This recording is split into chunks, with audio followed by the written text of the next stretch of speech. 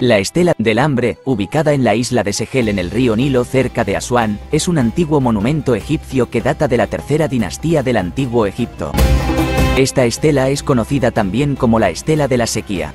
En ella, se relata cómo el faraón Yoser buscó la ayuda de la deidad Genum para poner fin a una grave sequía que asolaba la región. La inscripción narra cómo Genún bendijo al faraón y al pueblo egipcio con la restauración de las crecidas del Nilo, lo que aseguró la fertilidad de las tierras y la prosperidad. Esta estela es un importante testimonio de la relación entre la realeza egipcia y sus dioses, así como de la importancia del Nilo en la vida y la supervivencia del antiguo Egipto.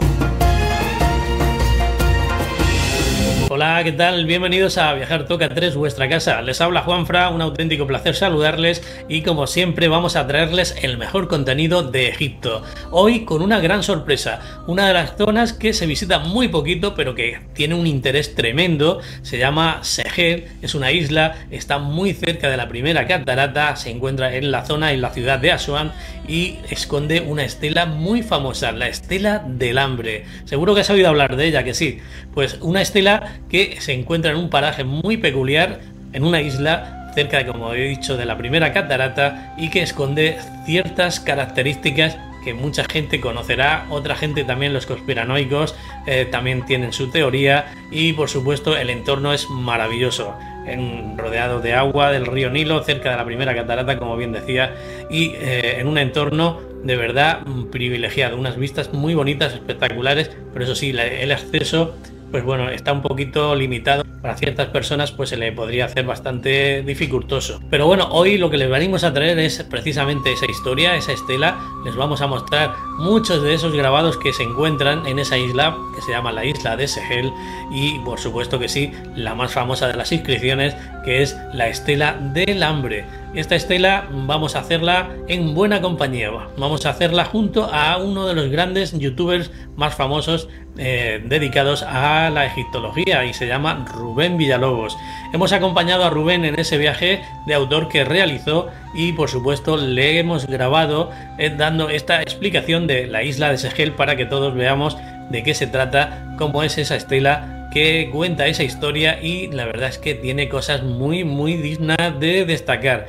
Como bien decía, en ella se, supone que se relatan esos hechos de esa hambruna famosa que se produjo en la época del faraón Zoser, fueron muchos años y que bueno, gracias a, a esta estela, pues conocemos un poquito más de esa historia. Y también decirles que, bueno, eh, resulta de que esta estela relata hechos que, se, que sucedieron 2000 años antes de que se inscribiera, es decir, que son de una época muy anterior, que relata hechos que, como bien digo, era en la época del reinado del faraón Zoset de la tercera dinastía, así que imagínate. Bien, pues vamos a empezar, vamos a empezar a recorrer la zona, vamos a ir viendo cómo es esta cantera, porque esto también era una cantera de granito en la cual, eh, por supuestísimo, se sacaron grandes bloques para la construcción de muchísimos de los templos que hoy día podemos conocer y visitar en Egipto. Así que esconde también una especie de, eh, inscripciones, yo no sé si aquello lo utilizaban como eh, escuela para aprendizaje, porque hay muchísimas estelas allí realizadas a lo largo de todo el recorrido hasta llegar a la principal que se encuentra en la zona más alta de la isla. Y es una auténtica gozada poder hacer este viaje, esta aventura en muy buena compañía, como bien digo, de nuestro queridísimo amigo Rubén Villalobos, al cual te animo a que eh, sigas a través de su canal de YouTube que ya sabéis que se llama igual que él, Rubén Villalobos, y que está cargado del mejor contenido en egiptología que te puedas encontrar hoy día en YouTube. Así que lo dicho, un cordial saludo de quien les habló, de Juanfra. Os espero como siempre aquí en vuestro canal, en vuestra casa, relatando los viajes que vamos haciendo a lo largo de este país increíble como es Egipto. Prepárate porque se vienen cosas muy chulas aquí como siempre en tu canal a viajar toca 3. Lo dicho, nos vemos muy pronto, gracias por estar ahí, suscríbete si aún no lo has hecho, dale like, déjanos tus comentarios, tus dudas, cualquier cosilla que tengas, cualquier inquietud la vamos a intentar resolver y contestar lo antes posible. Lo dicho, cordiales saludos, nos vemos muy pronto y disfruten de este precioso vídeo explicándonos la estela del hambre. Estamos ante la estela del hambre, como habéis podido ver, no es un sitio nada turístico, ¿no? porque bueno, para llegar hasta aquí es complicado eh, ¿Por qué se le llama estela del hambre?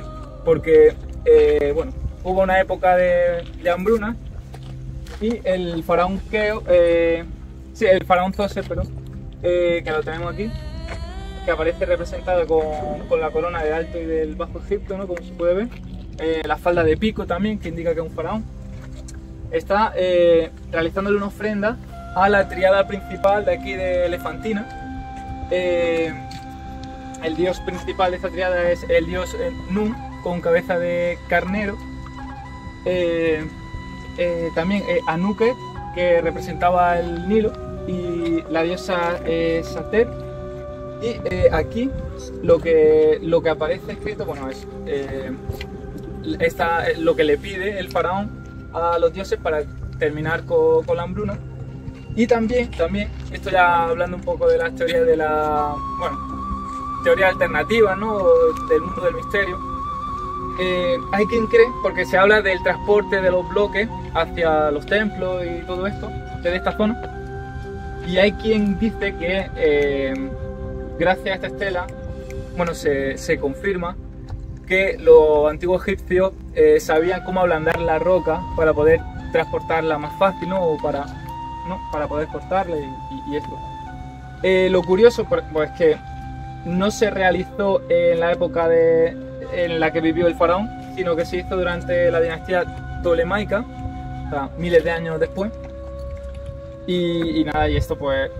Mmm, el, el, por ejemplo, antes me preguntaba el, que por qué estar aquí.